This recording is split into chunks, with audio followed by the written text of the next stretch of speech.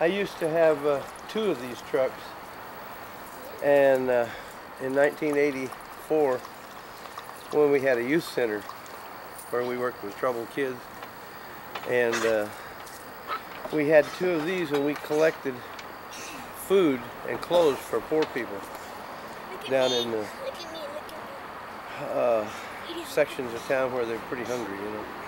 So we collected food and uh, clothes, and uh, then after the youth center closed because we couldn't get any support from people, we finally ran out of money, and uh, so uh, I sold one of the trucks. I should have kept it, and then I put shelves in it and uh, made it into a tape library. So that's where I keep all of my multi-track tapes. And my assistant here, Dr. Watson. Thank you, Dr. Watson. Yeah, yeah, yeah, he's, he'll go along with it.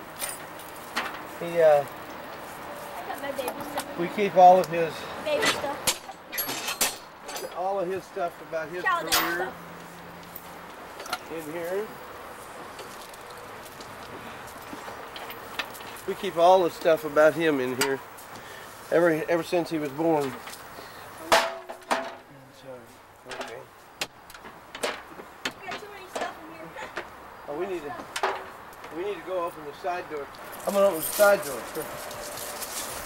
And then you'll be able to get a bunch of light.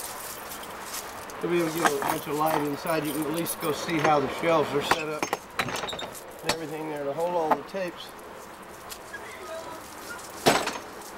So you can see the shelves that's in there. Lots of stuff that uh, was never anything. Like there's a tape of a group called Limey and the Yanks, and it was uh, one American guy and five or six.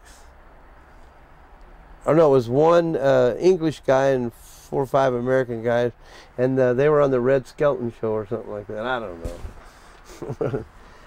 Just that's the best way to describe it. Stuff. like here's a tape. I don't know if you ever heard of. You ever heard of Red West? Not me. Red West. There's a tape done in '66 on Red West. Red West was Elvis Presley. Elvis Presley's bodyguard. You know he's in all those movies with him. Big red, big redheaded guy, muscle guy. So, see, that's an old tape. You think he could have uh, made a hit? Oh, we tried. We had one chart record with him. Kim Fowley and I produced him on one record that made the charts called the FBI story. I don't remember what it was about. Must have been about the FBI. That was in like 1960. Oh, here's some Richard Berry tapes. Okay, well here some things I did on Richard. When I when I first recorded Richard, they didn't didn't have anything but mono. I mean, single track, and then went to two track. Some of this stuff is most of it's mono, some of it's two track, I think.